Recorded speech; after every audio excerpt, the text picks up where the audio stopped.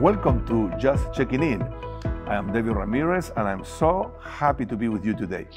Um, my guest today is Dr. uh, Arlene Hall, and uh, she's a great friend of mine as well. She's a senior pastor or lead pastor at Deliverance Temple Worship Center. And Arlene, uh, it's so good to, to see you today. Uh, you, you are such a blessing for our denomination. Um, it's good to see you uh, in our uh, Pentecostal Theological Seminary uh, uh, board as well. You are such a gifted person. Thank you for being with us. Arlene, you have a tremendous ministerial journey. Could you could you share with us, you know, how God has been placing you and uh, bringing you to this place in your life where you are serving uh, as a lead pastor in a local church? Thank you, Dr. Ramirez, for asking me to share in this moment. It's always great being with you. And as you serve as the liaison to PTS board, I have the opportunity to sit around the table and glean from your wisdom. And I thank you for that. So, um, my husband and I planted um, Deliverance Temple Worship Center 23 years ago. And we, um, at that point, I had just graduated from I graduated from MIP program, the Church of God MIP program, almost nine years prior to that, 1992. We planted DT 1999. And I was preaching in our region, in our local church. I served as a youth pastor for 10 years. And gradually, the Lord, the Holy Spirit started to nudge us. And eventually, He spoke clearly that He wanted us to plan to work and so we we with the blessing of our pastor we did and that has just been a journey here in boston massachusetts and growing in the ministry and growing together my husband served along with me so we are a dually what i call in my doctoral thesis dually ordained pastors where we serve together and it's just a tremendous blessing It is amazing. It is amazing story. And you know, more and more we have uh, couples that both of them uh, are in uh, ministry, called, you know, for, uh, from, uh, by God to serve in ministry and uh, to see both of you working together. Now, you are the lead pastor, both of you are ordained.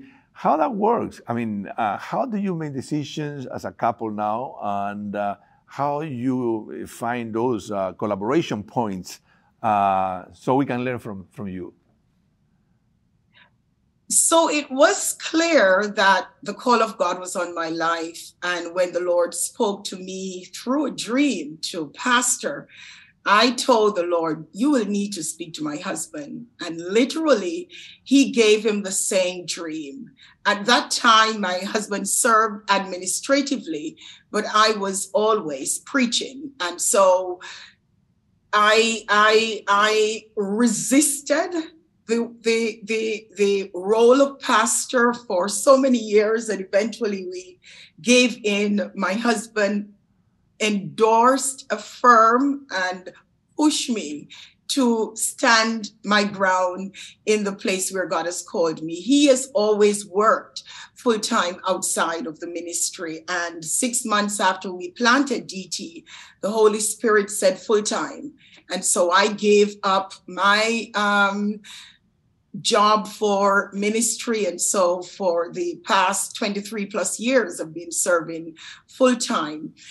Bishop being an ordained bishop with the Church of God, we, we share together, we process together. And I always say we complete each other. We do not compete. Bishop has strong gifts and we know what that is. And I have a different set of gifts. And so we complement each other. Um, he, he is a strong administrator and leader and he knows how it is to manage and that's his background in human resources and management and training and so he does that side of the ministry mostly and I do a lot of the preaching and teaching. And together we collaborate in training. And so he has a profile where he oversees oversight in certain ministries, and I have certain areas where we share in oversight. We have never had, in these 23 years, had any conflict. Wow. Um, by the grace of God, because Bishop have often said to others, he knows who he is and I know who I am, and we don't, we don't, we're not trying to compete. Yeah, well, uh, and you, you, you have found a synergy, synergy with your uh, own synergy. Calls, talents, it. and uh, that we were talking about today. And so, what a model! What a model you are establishing that you have established uh, for so many couples that uh, would like to fully participate uh, in in the local church ministry. Uh, Arlene, yes. also I have discovered that uh, you intentionally have uh, pursued uh, education. You you you want to grow. Uh, you continue, continually you have been looking for opportunities to keep growing uh, as a person in ministry. education. Why why a master degree program? Why a doctoral program to pastor a local church? How education is adding value to your ministry today? That's a great question. I think um, at this stage in ministry, I appreciate more my academic pursuit. Over the years, um, when I graduated from MIP, that was seminary for me. You you learned so much, and you thought that was it. But very soon, when I started pastoring, um, just the, the, the, the, the need to understand the scriptures more, the need to contextualize ministry, to be able to communicate, to speak to the context that we're in here in Boston, to work and to collaborate with others. I realized that there was more. And one of my mentor here in Boston who at that time served as the president of the Black Ministerial Alliance, we were having a meeting and he looked at me and said, Arlene, for what God wants to do in and through you, you need to go back to seminary. And I said, I have all these children pastoring. That's challenging enough. And he said, You should.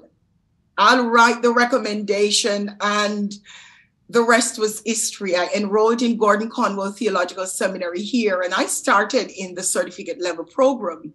At first, I did a master's in urban theology, and then I continued and did my master's of divinity.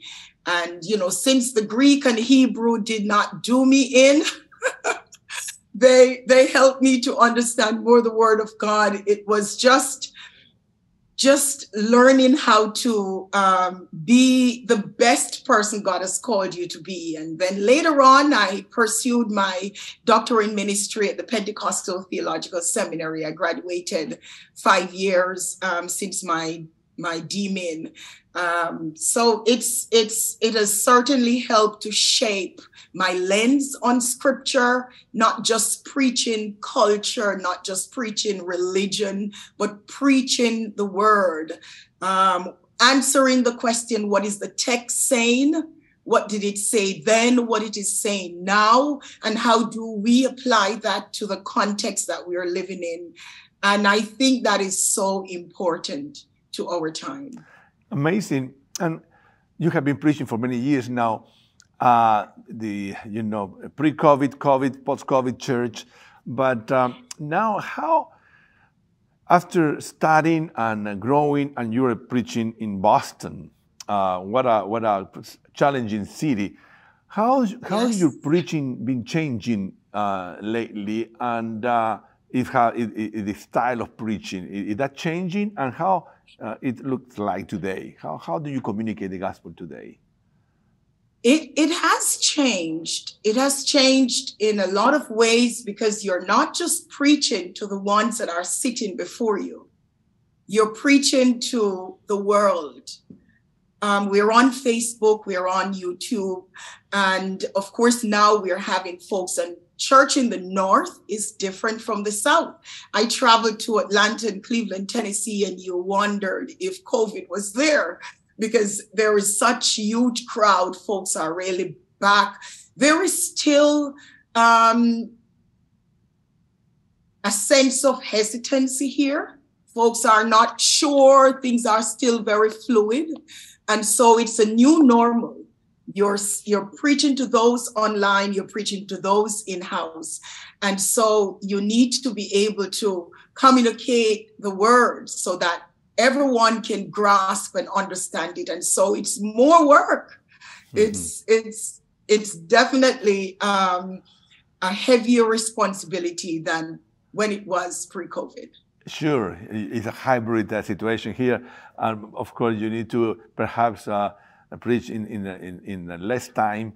You know, shorter your messages and use more uh, descriptive language, and of course uh, everything that you have been studying, uh, I'm sure that has been helping you to do that. Uh, Arlene, we need to pray. And, you know, most of our pastors, not only in the United States and Canada, are uh, hearing you and, and, seeing you, watching you, but uh, we have people from all around the globe. Could you pray particularly for our pastors and uh, their families today as they uh, recreate themselves, you know, looking for mm. more effective ways of communicating the gospel, communicating the gospel today to our society and pastor their churches with so many uh, difficult challenges that we're facing today. Could you pray, please? Sure, sure. Thank you, Lord. Father God, yes. we just thank you for this Kairos moment. Yes. That you've given to us to speak life into the life of pastors. Yes. Thank you for your calling on your sons and oh, daughters, oh, yes, wherever they yes. are, wherever they're logging on and viewing this um, um, segment of Let's Check In. Yes. I pray for every man and every woman that you have called, that you will affirm them, that you will assure them, and that you will anoint them for yes. the season. Assure them that you have called them for such a time as oh, this. Yes, In the name of Jesus, affirm them of your calling, affirm them of your uniqueness in ministry. And I pray that you will anoint them, Father oh, God, oh, yes. with an anointing of divine suddenness. Mm. So, Holy Spirit of Hallelujah. God, Praise reach and to reap the harvest yes. in the name of Jesus. I pray that they will stand on the